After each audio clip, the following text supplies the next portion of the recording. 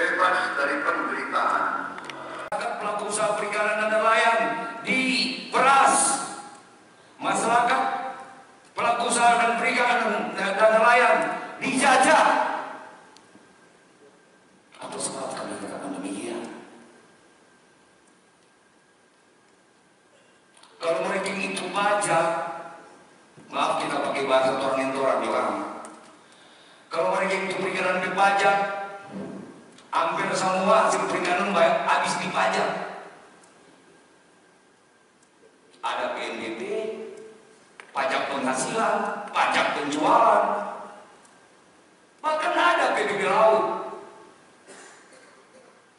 Orang mengenakan pajak.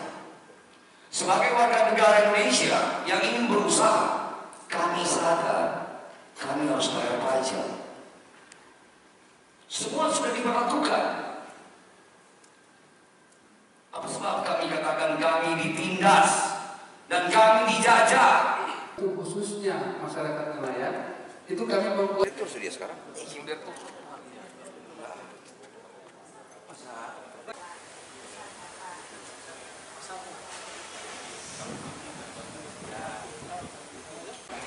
Iya katanya. Narapat mo ni? Pemerintahan yang baru. Dia tahu. Sebentar. cukup ah, berbahaya untuk hutan itu ke depan. Dan terakhir fasilitas BPS yang Ada masukan daripada TNI Angkatan Laut karena sampai dengan tanggal 20. Dan eh, pada saat kegiatan juga kami sudah melakukan teman-teman dirjen kami dan kami mendapatkan tembusan sehingga kami melaksanakan coffee morning pada tanggal 20 Agustus dan saat itu kita berdiskusi bagaimana harga acuan ikan itu perlu diturunkan karena sudah tidak sesuai dengan harga lapangan. Terima kasih. Jadi memang usulan kami di bulan Agustus itu kita Seperti ini. Benar aturan dia bayar. Sekarang ada PNBP untuk rumpunnya. Sementara ikan yang ditangkap dibayar juga. Sama-sama ke kementerian telah bikin surat rekomendasi untuk memperjuangkan suara eh, dari nelayan kota Bitung. Aduh kalau bicara PP 11 so panjang sekali. Orang bicara DP yang saat ini so urgent. Ya, itu harga acuan ikan untuk pembayaran PNBP. Ini so nyala masuk di akal, Pak. Karena harga pasar, harga penjualan toh, lebih murah dari harga penetapan harga harga pembayaran PNBP. Ya, logikanya masa harga penjualannya 8.000 ke bawah, tapi PNBP-nya 10.000. 10 persen 10 ri- untuk eh, GT 60 ke atas, 5 persen untuk GT 60 ke bawah. Jadi masyarakat nelayan ini terkesan sudah diperas, diperas dan dijajah oleh KKP, KKP dan jajarannya, karena struktural, struktural itu. Kementerian yang bikin aturan dan pelaksanaannya kan di bawah, tersistem. Orang minta bikin bagaimana? harapannya apa? Harapan, Harapan kami eh, khususnya untuk Bapak Presiden eh, Prabowo, kami tolak Menteri eh, KKP yang saat ini eh, dipilih atau akan dilantik oleh Bapak Prabowo. Kami dari pelaku usaha perikanan atas nama Gerakan Nelayan Perkasa menolak Bapak Wahyu Trenggondo menjadi Menteri Kelautan dan Perikanan. Penyebab utamanya apa? Yaitu karena penyebabnya dari Pak eh, Menteri itu sehingga ada yang namanya PP 11. PP 11 ini kami nelayan belum siap untuk menerimanya. Karena PP 11 itu terkesan akan menjajah nelayan.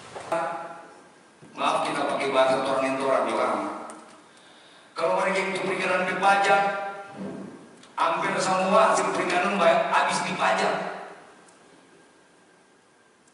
ada PNBP, pajak penghasilan, pajak penjualan, bahkan ada PBB laut. Orang mengenakan pajak. Sebagai warga negara Indonesia yang ingin berusaha, kami sadar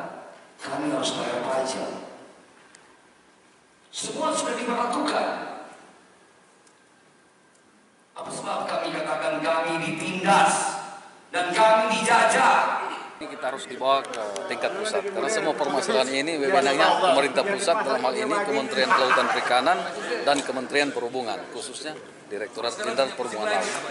Tenggang waktu waktunya dari kapan dan mungkin ini langsung diproses kah ke pusat atau seperti apa?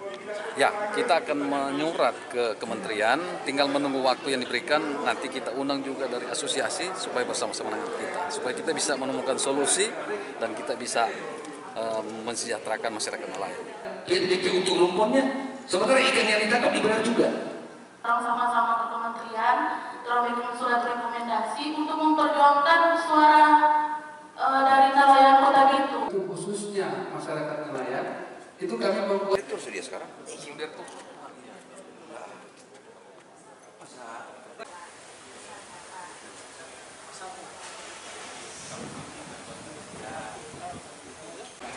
Iya katanya.